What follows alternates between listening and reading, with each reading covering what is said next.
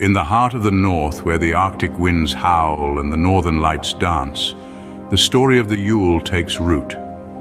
Born from the imagination of a people as rugged and enchanting as the land they inhabit, the Yule lads are a treasured part of Icelandic folklore. In the biting chill of winter, these mischievous figures come out to play. Born of the mountains and the frigid winds, the Yule lads, all 13 of them, are the mischievous progeny of Grýla, a fearsome ogress who calls the Icelandic peaks her home.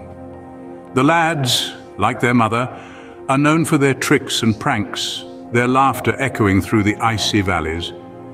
Every year these 13 Yule lads venture out from their mountain home one night at a time for 13 nights to play their pranks and spread their cheers. Their antics are a reflection of Grýla's own mischievous nature, making the Yule lads a treasured, albeit cheeky, part of Icelandic folklore. The first of these notorious figures is Stekkjarstaur, or sheepcote clod. This limping lad has a penchant for harassing sheep.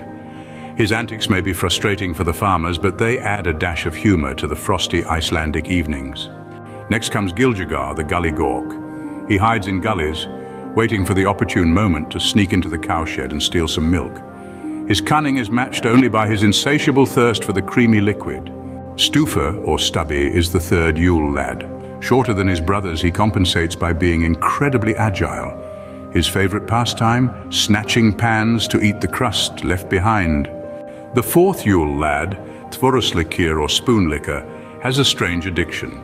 He pilfers wooden spoons known as þvörur to lick. Thin as a rail due to malnutrition, his story serves as a stark reminder of the harsh Icelandic winters. Pottaskefill, the pot scraper, is the fifth Yule lad. Always on the hunt for leftovers, he steals potter or pots to scrape and eat whatever remains. Next in line is Askasleikir, or bowl licker. This lad hides under beds, waiting for someone to put down their askur, a type of bowl with a lid used in old times, which he then steals. The seventh Yule lad, Hurðaskellir or door slammer, loves to make noise. He slams doors, especially during the night, causing a ruckus and disturbing people's sleep. Skyrgamur, the skyr gobbler, is the eighth Yule lad. He has an insatiable appetite for skyr, a type of Icelandic yogurt. Bjúgnakrækir, the sausage swiper, is the ninth Yule lad. He hides in the rafters and snatches sausages that are being smoked. The tenth Yule lad, Gluggagægir or window peeper, is a voyeur who looks through windows in search of things to steal. Gáttaþefur, the doorway sniffer, uses his abnormally large nose to locate laufabrauð, leaf bread. Ketkrókur, the meat hook, ventures into houses on the twelfth night. He uses a hook to steal meat, depriving the occupants of their next winter meal. On the 13th night, Kertasníkir, the candle stealer, follows children to steal their candles. In the olden days, the candles were made of tallow and thus edible. These Yule lads, though rooted in old traditions, have evolved with time, becoming less fearsome and more mischievous, reflecting the changing face of Icelandic culture. They serve as a delightful reminder of the magic of winter and the joy of folklore. If you'd like to bring the Yule lads home this Christmas, check out our Yule Lads book on Amazon.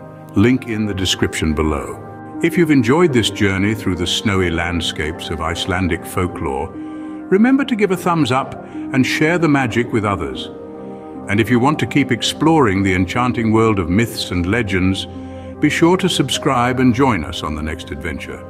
Until then, keep the Yule Lad spirit alive and let their stories warm your chilly winter nights.